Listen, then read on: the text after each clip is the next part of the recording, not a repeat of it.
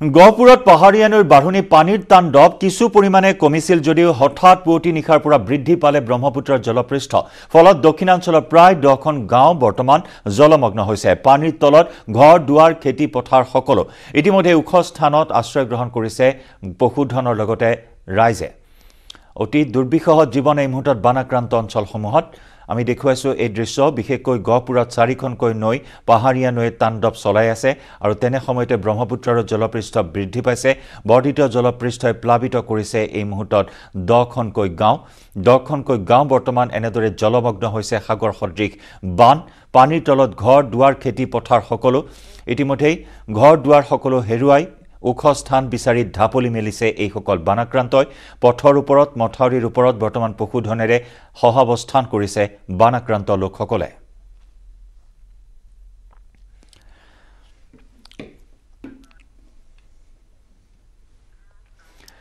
ওদালগুৰি জিলাৰ press guild Kalaigaon press guild আৰু পৰম বৈষ্ণৱ সাধক যতীন্দ্ৰ কৃষ্ণ দাসৰ উদ্যোগত বানাক্ৰান্তসকলক সাহায্য বিতৰণ।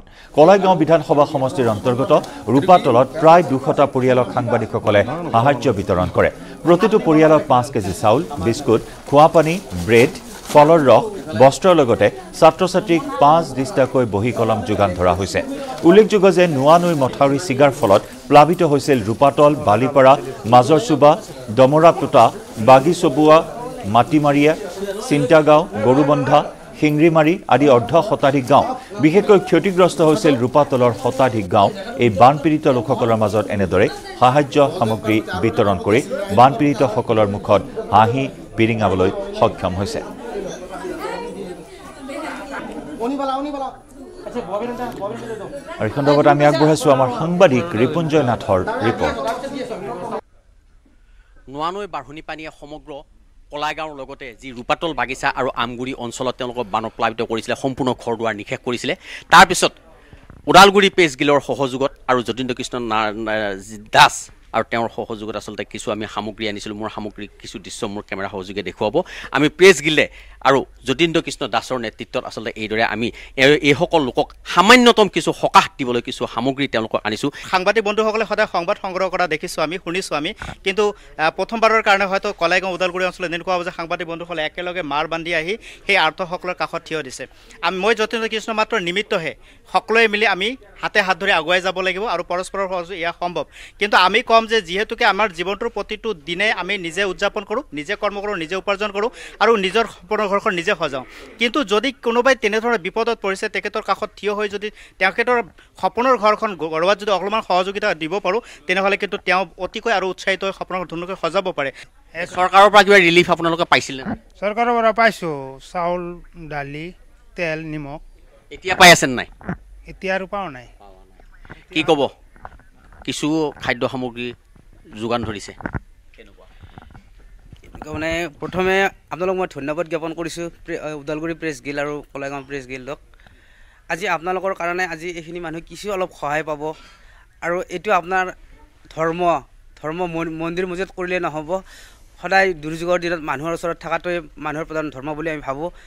যা নহওক আমি আজি এইখিনি কিচিত হ'লেও কিছু অলপ সহায় কৰিছোঁ আৰু ভৱিষ্যতেও আমি এনেকৈ দুৰ্যোগত আমি সদায় সহায় কৰিম বুলি আমি আশা ধন্যবাদ জনাইছোঁ ওদালগুৰি পেজ গিল্ড আৰু কলেগাঁও পেজ গিল্ডৰ সমূহ সদস্যবৃন্দক। আচলতে এজন সাংবাদিকে বা এজন সংবাদকৰ্মীয়ে কেৱল সংবাদ সংগ্ৰহ কৰাই নহয় তেওঁলোকে দৰিদ্ৰজনৰ বা আত্মজনৰ ওচৰত থিয় দিয়াটো বৰ ডাঙৰ কথা। কিন্তু আমি এই ক্ষেত্ৰত দেখা পাইছোঁ ওদালগুৰি পেজ গিল্ড বা কলেগাঁও পেজ পেজ গিল্ডৰ সদস্যসকলে আজি এই শগুনবাহী বা এই দুই নম্বৰ আমগুৰি ৰূপাতলৰ যিসকল ব্যক্তি আছে আৰ্তজন আছে তেওঁলোকক সৰ্বচন্ত হৈছে তেওঁলোকৰ দিশহাৰা হৈ পৰিছে সেইসকলৰ ওচৰত কি আনিছে কি দিছে এইটো ডাঙৰ কথা নহয় মাত এষাৰ দিয়াটো বা তেওঁলোকক মনৰ মনৰ এটা সান্তনা দিয়াটো বৰ ডাঙৰ কথা গতিকে এই ক্ষেত্ৰত মই আজি এই আপোনালোকৰ চেনেলৰ জৰিয়তে মই আমাৰ চৰকাৰী পক্ষক অনুৰোধ জনাম তেওঁলোকৰ ওচৰত আহক তেওঁলোকৰ যি দুখ দুৰ্ঘটনা সেইখিনি কথা তেওঁলোকে জানি লওক বা তেওঁলোকক সেইখিনি সমস্যা যাতে সমাধান কৰে তাৰ কাৰণে মই ইফালে নলবাৰীত বান পৰিস্থিতিৰ পৰ্যবেক্ষণ মন্ত্ৰী নন্দিতা গাৰ্লোচাৰ তিনিদিন ধৰি নলবাৰীত বাহৰ পাতি থকা শক্তিমন্ত্ৰীগৰাকী বুধবাৰে উপস্থিত হয় বাহাৰ ঘাটত। মুখ্যমন্ত্ৰীৰ নিৰ্দেশৰ পিছতে টিহু পশ্চিম নলবাৰী ঘগ্ৰাপাৰ বৰভাগৰ বৰবুকীয়া বৰশিমলুৱাকে ধৰি কেইবাটাও বানপীড়িত অঞ্চলত উপস্থিত হয় শক্তিমন্ত্ৰীগৰাকী। অতি শীঘ্ৰেই বান বিধ্বস্ত অঞ্চলসমূহত খাদ্য সামগ্ৰী খোৱাপানী মথাউৰি আৰু বিজুলী সংযোগৰ কাম সম্পূৰ্ণ কৰাৰ আশ্বাস প্ৰদান কৰে মন্ত্ৰীগৰাকীয়ে।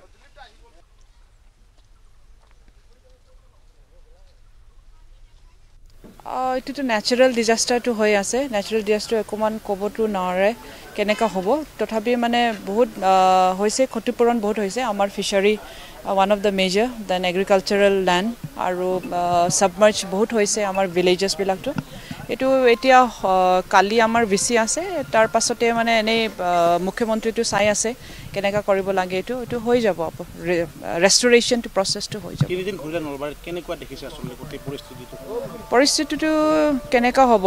ৰিলিফবিলাকতো পাইছে মানুহ আৰু অকণমান আমাৰ সেই মানুহবিলাক दोस्त हु हैव बिन मैंने जो सबमर्ज में रहा है वाटर में फिर रिलीफ से फिर वापस जब घर गया उन लोगों को थोड़ा तकलीफ में है वो तकलीफ तो फिर गव- सरकार देख लेगा उसका নীৰৱে বোৱা নৈৰ সংহাৰ নিমিষতে নৈত বিলীন হৈ পৰিল কংক্ৰিটৰ ঘৰ। বঙাইগাঁও জিলাৰ মানিকপুৰৰ দুই নম্বৰ বাছবাৰীত পুনৰ ভয়াৱহ ৰূপ লৈছে গৰাখহনীয়াই গৰাখহনীয়াত জাহ গ'ল মছজিদ ঈদগাহ কবৰস্থান আৰু বজাৰ আদিকে ধৰি বিভিন্ন অনুষ্ঠান প্ৰতিষ্ঠান। চকুৰ সন্মুখতে এটা এটাকৈ নৈৰ বুকুত জাহ গৈ নিশ্চিন্ন হৈছে অঞ্চলটোত। এতিয়ালৈকে প্ৰায় তিনিশ পৰিয়ালৰ ঘৰ দুৱাৰ নৈৰ বুকুত বিলীন হৈছে। ডাঙাইগাঁও কীৰ্তনপাৰা সংযোগী গড়কাপ্তানি পথটো গৰাখহনীয়াৰ কবলত পৰি যাতায়াত বিচ্ছিন্ন হৈছে। কালিৰ পৰাই আই নৈৰ বাঢ়নি পানীয়ে বুৰাই পেলাইছে কুৰিখনৰো অধিক গাঁও। আই নৈৰ বাঢ়নি পানী প্লাৱিত হৈছে ন ন অঞ্চল। বানপানী আৰু গৰাখহনীয়াৰ তাণ্ডৱত এতিয়া দিশহাৰা হৈ পৰিছে হাজাৰ হাজাৰ লোক।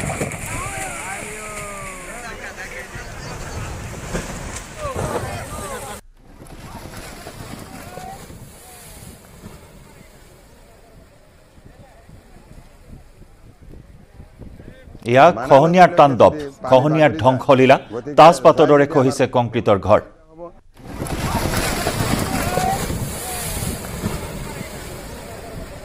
প্ৰায় তিনিশ পৰিয়ালৰ ঘৰ দুৱাৰ এনেদৰে জাপ পানী বাগৰি যায় গতিকে যাই যদি আমাৰ বহুত অসুবিধা হ'ব আমাৰ বাকী ৰাইজখিনি সম্পূৰ্ণৰূপে আৰু বেমেজালিত পৰিব অসুবিধাত পৰিব গতিকে ত্বৰান্বিতে আমাৰ আই নদী কবলৰ পৰা আমাক বচোৱাৰ কাৰণে যি বৈজ্ঞানিক ভিত্তিত পদ- পদ- পদক্ষেপ ল'ব লাগে।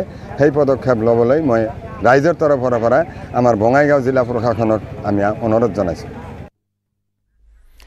আৰু ৰাজ্যৰ বিভিন্ন প্ৰান্তৰ পৰা বান বিভীষিকাৰ খবৰ আমি আপোনাক জনাই যাম। তাৰ পূৰ্বে গুড মৰ্ণিং এটিনত লৈছো আন এটি চমু। গহপুৰত পাহাৰীয়া নৈৰ বাঢ়নি পানীৰ তাণ্ডৱ কিছু কমিছিল যদিও হঠাৎ পুৱতি নিশাৰ পৰা বৃদ্ধি পাইছে ব্ৰহ্মপুত্ৰৰ জলপৃষ্ঠ। ফলত দক্ষিণাঞ্চলৰ প্ৰায় দহখন গাঁও বৰ্তমান জলমগ্ন হৈ উঠিছে। পানীৰ তলত বৰদুৱাৰ খেতিপথ ঘৰ দুৱাৰ খেতিপথাৰ সকলো আৰু ইতিমধ্যে ওখ স্থানত আশ্ৰয় গ্ৰহণ কৰিছে বানাক্ৰান্ত লোকসকলে। পশুধনেৰে বৰ্তমান সহাৱস্থান কৰিছে বানাক্ৰান্ত লোকসকলে।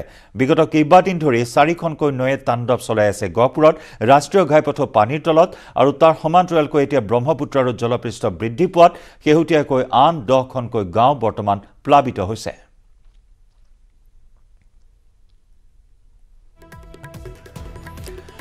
গহপুৰৰ পৰা বান পৰিস্থিতিৰ আমাক অধিক খবৰ জনাব আমাৰ সাংবাদিক পলাশ ফুকনে। পলাশ আজিৰ দিনটোৰ বান পৰিস্থিতিৰ সবিশেষ আপোনাৰ পৰা জানিব বিচাৰিম। নিশ্চয়কৈ জয়ন্ত গহপুৰীয়া ৰাইজৰ মনত এতিয়া এটাই প্ৰশ্ন আচলতে কেতিয়াৰ পৰা কেতিয়া বানৰ পৰা মুক্ত পাব? কাৰণ যোৱাকালি পাহাৰীয়া যি নৈ তাণ্ডৱ আছিল কিছু পৰিমাণে হাম কাটিছিল যদিও পুনৰ পুৱতি নিশা ব্ৰহ্মপুত্ৰৰ জলস্তৰ বৃদ্ধি পালে যাৰ ফলত এতিয়া গহপুৰ দক্ষিণাঞ্চলৰ বিস্তীৰ্ণ এলেকা প্ৰায় দহ পোন্ধৰখন গাঁও বৰ্তমান জলমগ্ন হৈ পৰিছে। গহপুৰৰ গোপাল জাৰণি থুতে চাপৰি জবৰে চাপৰি ইত্যাদি গাঁওসমূহ আছে। সকলোবিলাক এতিয়া জলমগ্ন হৈ পৰিছে। লোকসকল বামলৈ এতিয়া নাৱৰ যোগে আহিবলগীয়া অৱস্থাৰ সৃষ্টি হৈছে আৰু মই যিটো স্থানত উপস্থিত আছো তাৰ প্ৰায় আধা কিলোমিটাৰ আগত ব্ৰহ্মপুত্ৰ নৈ আৰু ব্ৰহ্মপুত্ৰ নৈৰ সিপাৰে দহ পোন্ধৰখন গাঁও আছে আৰু সেই লোকসকলে বাস কৰে কিন্তু এতিয়া তেওঁলোকৰ অৱস্থা শোচনীয় হৈ পৰিছে। যিসমূহ পশুধন কাৰণ এই গহপুৰ দক্ষিণাঞ্চলৰ প্ৰায় আশী শতাংশ লোক কৃষিজীৱী ৰাইজ আৰু তেওঁলোকৰ বড়ো ধানৰ খেতিসমূহ আছিল। একাংশই কাটিছিল যদিও একাংশই কাটিব নোৱাৰিলে। সেইসমূহ বৰ্তমান পানীৰ তলত আৰু যিসমূহ পশুধন সেইসমূহ বামলৈ আনিবলগীয়া হৈছে পথৰ দাঁতিত তেওঁলোকে বান্ধিবলগীয়া হৈছে। যেন এক প্ৰকাৰৰ বিভীষিকাময় পৰিস্থিতিৰ দিশে গতি কৰিছে। মোৰ সতীৰ্থই দেখাব এয়া পানী নদীৰ পানীৰ তীব্ৰ সোঁত আৰু যি গহপুৰৰ উত্তৰ পাৰে আচলতে পাহাৰীয়া নৈ তাণ্ডৱ চলে আৰু দক্ষিণাঞ্চলত ব্ৰহ্মপুত্ৰৰ নৈ পুৱতি নিশা বহাৰ ফলত এক প্ৰকাৰ তাণ্ডৱ চলিছে আৰু এই দেশতে উল্লেখ কৰিব লাগিব গহপুৰ উত্তৰাঞ্চলৰ পাহাৰীয়া নৈ চাৰিখন আৰু ব্ৰহ্মপুত্ৰ জলস্তৰৰ পানী। দুই দুয়ো দুয়োটা পানী আচলতে সংযোগ হৈ পৰিল যাৰ ফলত পানী বেছি পৰিমাণে আচলতে ওফন্দি পৰিছে। এয়া গড়কাপ্তানি পথ গহপুৰ বৰদলনিৰ গড়কাপ্তানি পথ আৰু গড়কাপ্তানি পথৰ ওপৰেৰে তীব্ৰভাৱে পানী বাগৰিছে তীব্ৰ সোঁত আৰু স্থানীয় ব্যক্তি আছে। দাদা কওকচোন পুৱতি নিশা হঠাৎ ব্ৰহ্মপুত্ৰ জলস্তৰ বৃদ্ধি পায়? এনেদৰে সকলো অঞ্চল প্লাবিত হৈ পৰিলে কেনেকুৱা সমস্যা হৈছে কি ক'ব? যথেষ্ট পশুধনৰ সমস্যা হৈছে খোৱা বোৱা সমস্যা হৈছে। আমাৰ গহপুৰৰ যিটো দক্ষিণ অঞ্চল সেইটো যথেষ্ট ব্ৰহ্মপুত্ৰ নদী বাঢ়নি পানীয়ে যথেষ্টখিনি বুঢ়াই দিছে। চব ফালৰ পৰা আমাৰ অসুবিধা হৈছে। বৰ্তমান আমাৰ ইয়াত কোনো ৰিলিফৰ ব্যৱস্থা হোৱা নাই কোনো গৰু পশুধনৰ কাৰণে খাদ্য সামগ্ৰী আনি দিয়া নাই। আজি পাঁচটা দিনে যিখিনি মানে প্ৰলয় সৃষ্টি হৈছে আৰু কি ক'ম মানে হয় আৰু নদীৰ সিটো পাৰে কিমান গাঁও আছে কেনেকুৱা অৱস্থা হৈছে মানুহখিনি? নদীৰ সিটোৰ পৰাই আপোনাৰ পোন্ধৰৰ পৰা বিছখন গাঁও হ'ব যথেষ্টখিনি মানুহ আছে। তেওঁলোকে বৰ্তমান নাৱেৰে অহা যোৱা কৰিছে স্কুল কলেজ সম্পূৰ্ণ বন্ধ হৈ গৈছে আহিব পৰা নাই। আৰু খোৱা বোৱাটো আপোনাৰ অসুবিধা হৈছে দোকান বজাৰ কৰিবৰ কাৰণে। যথেষ্টখিনি অসুবিধাৰ সন্মুখীন হ'ব লগা ওপৰেও বৰষুণ তলেও পানী। ক'ত যাব কি কৰিব বৰ্তমান পশুধনৰ যথেষ্ট অসুবিধা হৈছে। বৰ্তমান যিবিলাক পশুধনে ঘাঁহ খাই থকা জেগা আছে সম্পূৰ্ণখিনি পানী প্লাবিত হৈছে। সেইটো কাৰণে পশুধনৰ যথেষ্ট অসুবিধা এতিয়া গহপুৰৰ উত্তৰাঞ্চল দক্ষিণাঞ্চল সকলোতে এতিয়া পানীৰ সমস্যা। পানীৰ সমস্যা যথেষ্ট পানীৰ সমস্যা। যথেষ্ট পানী শুনা আপোনাৰ ওপৰৰ পানীটো আপোনাৰ পাহাৰৰ পানীটো বৰ্তমান মুহূৰ্তত মানে কুকুৰা যেন দেখিছিলোঁ ব্ৰহ্মপুত্ৰ বাঢ়নি নদীয়ে আকৌ সম্পূৰ্ণখিনি প্লাবিত কৰি দিছে। বৰ্তমান নাওলৈ অহা যোৱা কৰিব লগা হৈছে আমাৰ যথেষ্টখিনি অসুবিধা হৈছে। ইয়াত কোনো ৰিলিফৰ ব্যৱস্থা নাই আজি পাঁচটা দিনে যিটো আমি মানে প্ৰলয় সৃষ্টি হৈছে সম্পূৰ্ণভাৱে ইয়াত কোনো একোৱে ব্যৱস্থা নাই। হয় আৰু মানুহৰ ঘৰত পানী সোমাইছে। যথেষ্ট সোমাইছে পানী। আপোনাৰ টিকা জেগা আশ্ৰয় লৈ শিবিৰত থাকিব লগা হৈছে। আপোনাৰ আমাৰ এনেকুৱা সমস্যা যে এখন পানী কাপোৰ কিনিবলৈও মানে এখন পানীৰ কাপোৰ কিনিবলৈও আমাৰ সমৰ্থন নোহোৱা নিচিনা হৈ আছে। বৰ্তমান গৰু গৰু ছাগলী হাঁহ পাৰ সেইবিলাকতো চব উটি গৈছেই।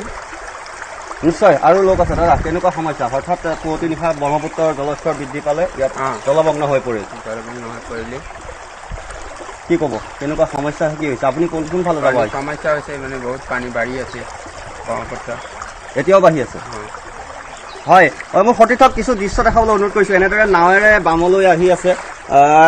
এয়া গহপুৰ দক্ষিণাঞ্চলৰ যি গোপাল জাৰণি আছে ইত্যাদি অঞ্চল আছে সকলোবিলাক আচলতে জলমগ্ন হৈ পৰিছে জয়ন্ত। আৰু এনেদৰে এতিয়া নাৱেৰে লোকসকল বামলৈ আহিছে। আৰু পশুধনৰ বাবে খাদ্য এনেদৰে নাৱত নাৱত নিবলগীয়া এক অৱস্থাৰ সৃষ্টি হৈছে কাৰণ সকলো ফালে কেৱল পানী আৰু পানী পাহাৰীয়া যি নৈ আছিল চাৰিখনকৈ নৈয়ে তাণ্ডৱৰ সৃষ্টি কৰিছিল আৰু কিছু পৰিমাণে সকাহ পাব বুলি ৰাইজে ভাবিছিল কিন্তু গহপুৰ দক্ষিণাঞ্চলত যেতিয়া ব্ৰহ্মপুত্ৰৰ জলস্তৰ বৃদ্ধি পালে পলাশ আপুনি দক্ষিণাঞ্চলৰ এই দহখন গাঁৱৰ খবৰ এই মুহূৰ্তত আপুনি আমাক জনাইছে। কালিৰ দিনটোৰ পৰা আপুনি আমাক ধাৰাবাহিক ৰূপত গহপুৰৰ বান পৰিস্থিতি দেখুৱাই আহিছে জনাই আহিছে। পলাশ পোন্ধৰ নম্বৰ ৰাষ্ট্ৰীয় ঘাইপথৰ বৰ্তমান কেনেকুৱা পৰিস্থিতি?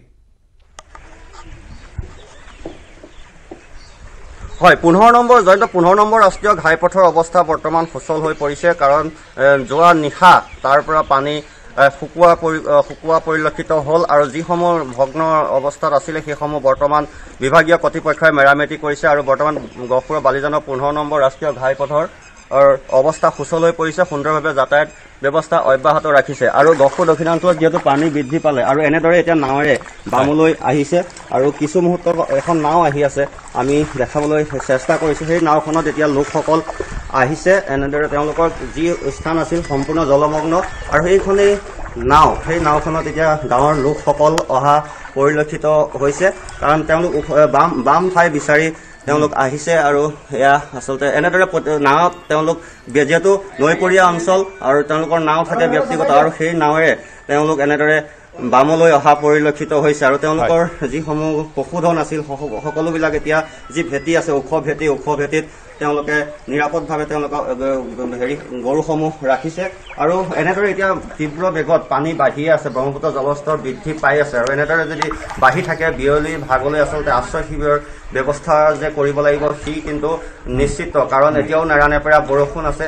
ইফালে পাহাৰীয়া নৈ কমিছে যদিও কিন্তু তাৰ তাণ্ডৱ অব্যাহত আছে। এতিয়াও মানুহৰ ওপৰত। চৌদিশ এতিয়া বানে চানি ধৰিছে গহপুৰত। পলাশ আমি বিদায় জনাম এই মুহূৰ্তত আপোনাক আৰু এনেদৰেই অতি দুৰ্বিষহ জীৱন যাপন কৰিবলগীয়া হৈছে বান আক্ৰান্ত ৰাইজে। ওখ স্থান বিচাৰি ঢাপলি মেলিছে। ওখ স্থান আশ্ৰয় বিচাৰি এই মুহূৰ্তত হাবাথুৰি খাইছে বান আক্ৰান্ত লোকসকলে। ঘৰ দুৱাৰ সকলো এতিয়া পানীৰ তলত।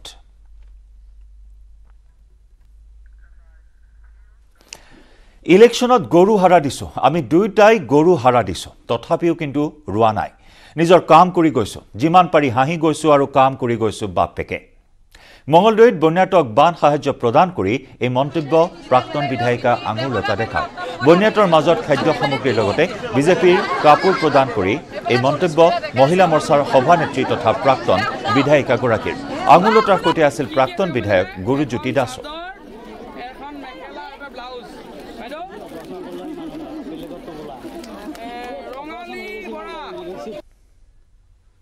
আৰু গুৰুদা আমি দুয়োটাই হাৰা মানুহ।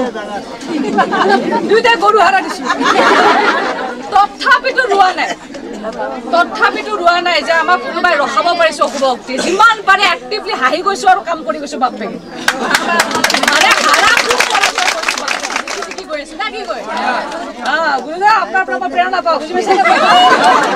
এনেকে লাগি থাকক। হয় নহয় ৰাতিৰ পিছত সূৰ্য উদয় হ'বই হ'ব